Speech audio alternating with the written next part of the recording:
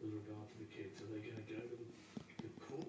Are they going to be able to watch any of the television coverage? It's going to be wall to wall. It's going to be a huge news story for several months.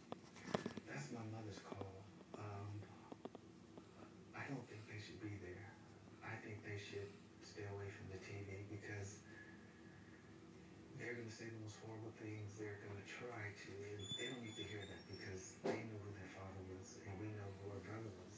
Jemima, you gotta see this.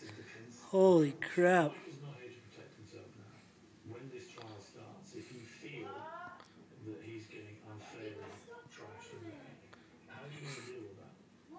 You gotta see this.